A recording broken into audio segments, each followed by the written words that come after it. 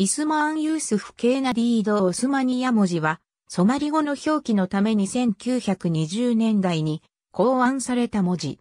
単にソマリ文字とも呼ばれるが、歴史的にソマリ語は様々な文字で表記されてきた。オスマニアという名前は考案者のイスマーン・ユースフ、ケーナディードに由来する。左から右へ書かれるアルファベットである。現在はソマリ語の表記にはラテン文字が使われる。ソマリアでは、最初カーディリー教団のシャイフ、ウワイス・アルバラービーによって、アラビア文字によるソマリ語表記法が考案された。ソマリアはイスラム世界に属するため、アラビア文字の採用は自然だったが成功しなかった。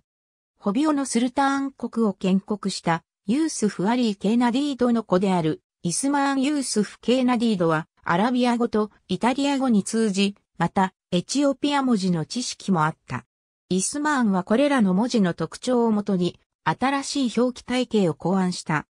全体として、ラテン文字と同様のアルファベットであるが、文字の順序と長母音の表記には、アラビア文字の影響が見られ、字型には、エチオピア文字の影響が見られる。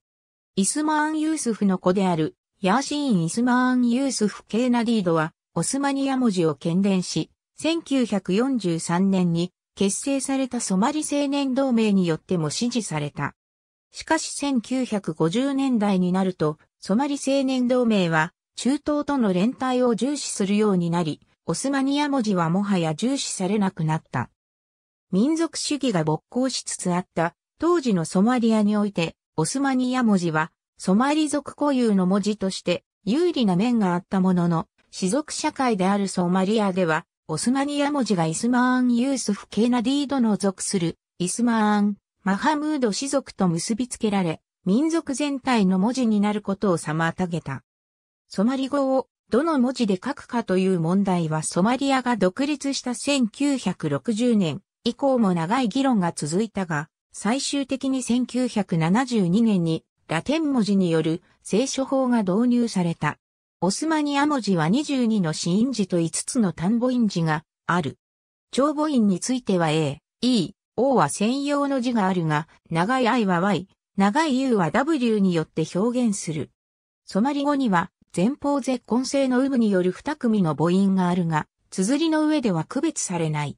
2003年のユニコード4.0で、追加多言語面の U プラス 1480U プラス104 AF に追加された。22の死因あざ、5つの母音あざ、3つの長母音のための文字、10の数字からなる。ありがとうございます。